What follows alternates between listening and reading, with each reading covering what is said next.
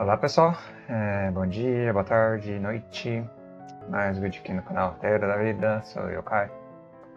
O vídeo da vez de hoje é uma F, um aforisma filosófico de Star Wars.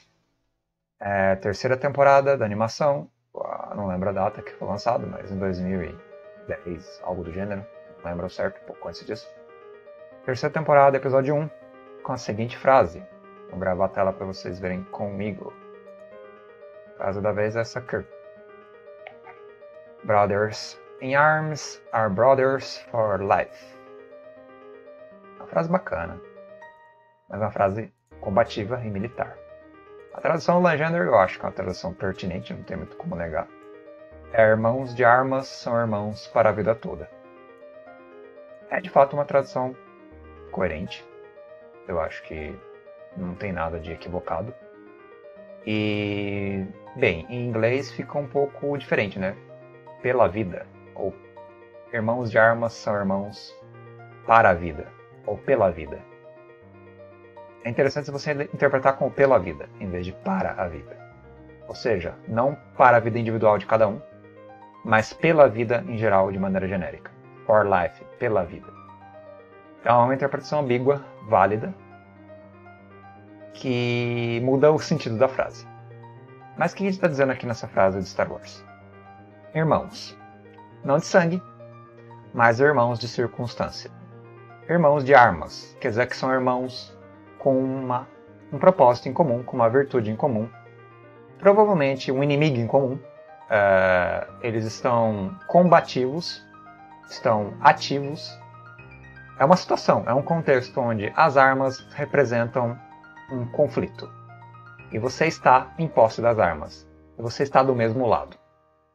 Então você tem um lado, você tem um conflito e você tem ferramentas. Podem ser bélicas ou não.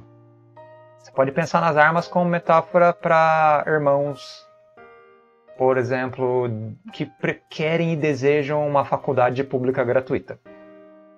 Mas eles não vão fazer uma guerra, ou pegar revólver, ou algo do gênero, ou matar pessoas por causa disso. Eles são irmãos de um ideal, de um propósito, de uma ambição, de uma utopia, talvez. Então, armas representa é, o objetivo em comum, o laço, a amarra, o nó de pessoas diferentes, que não têm necessariamente. É, eles estão num local ou numa situação onde eles são atados uns aos outros, né? Eles são conectados uns aos outros, mas eles não têm nenhum outro tipo de vínculo para além da, da sua filosofia, da sua ideologia, dos seus propósitos. Podem ser propósitos militares? Podem.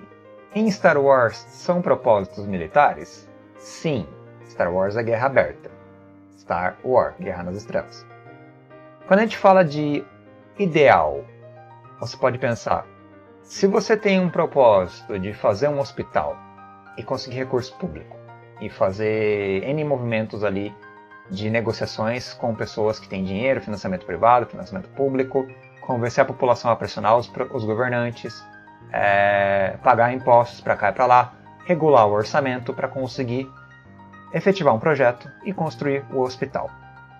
Quem são os irmãos de armas? As pessoas que têm interesse no projeto que tem interesse no objetivo. Se você é um amigo que joga futebol com outro amigo, um jogo de futebol, quem são os irmãos de armas? O time. Se você é zagueiro e o cara é atacante, não interessa. Você joga no mesmo time. Vocês têm um propósito em comum, que talvez seja ganhar um campeonato, ou um jogo, ou se divertir mesmo, porque futebol é divertido. Mas a pegada é: se você tem um objetivo utópico muito forte, tem que ser um objetivo muito forte é assim, tipo, grandioso.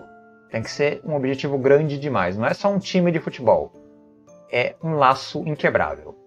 Se você for irmão do cara pela vida inteira, pelo resto da vida, se você for do mesmo time que o cara, praticamente, que time eu estou usando a metáfora aqui, você não vai jogar bola com 70 anos. Mas se o seu propósito for um propósito grandioso, universal, para além da sua vida, eu acho que tem que ser para além da vida, porque é uma coisa que você não vai conseguir conquistar sozinho. E mesmo com o irmão de arma, com o seu melhor amigo, com o seu laço efetivado, ainda não se sabe se vai ser sozinho que você vai conseguir conquistar isso. Então é uma coisa muito maior do que os dois. mas vocês pertencem ao mesmo exército ou ao mesmo time, ou ao mesmo lado, pode-se dizer. Então são irmãos, não de sangue, mas de utopia, de ideal, concordam com, com a, grosso, a grosso modo sobre, a, sobre os métodos, sobre o objetivo, sobre o propósito, sobre, sobre as circunstâncias. Então agem de maneira mais ou menos sincrônica ou cooperativa, não atritam tanto, são irmãos, não se separam, nunca deixam de ser companheiros. Então não pode ter rompimento, não pode se tornar, é, sei lá, inimigo um do outro. Então temos irmãos de armas, com um objetivo gigantesco. Armas aqui representam o que vocês quiserem. Pode ser a paz mundial, pode ser a viagem espacial para outro planeta, pode ser a construção de uma colônia na Lua ou em Marte, pode ser é, a liberdade do seu povo oprimido, irmãos palestinos, pode ser é, a dignidade, é, aniquilação do machismo e de uma sociedade patriarcal, irmãos de armas, ou irmãs de armas, no caso, ficando feminino, que vão ali lutar para que a sociedade reestruture a cultura e reestruture o comportamento e o tratamento em relação às mulheres, e vão lutar lado a lado o resto da vida. Tem que ser o resto da vida. Tem que ser do começo ao fim, senão não faz sentido a frase. É para a vida toda. Ou seja, você virou irmão da pessoa, tem o mesmo objetivo, o mesmo propósito, vocês continuam juntas ad eterno, entendeu? A ideia é essa.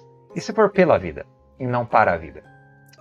Se for pela vida, irmãos de armas com um propósito que não é relativo a, enfim, no percurso, não é um percurso entre eles, que o para a vida quer dizer que eles estão conectados entre eles. O pela vida quer dizer que eles estão conectados por um objetivo maior.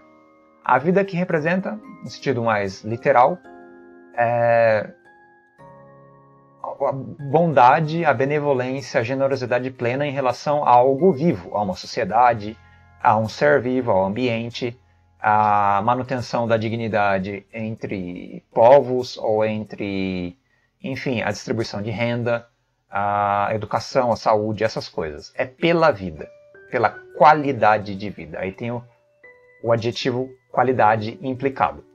Se é para a vida, é um tanto fechado e egoísta. Se é pela vida, é abrangente, é uma coisa que é além de você.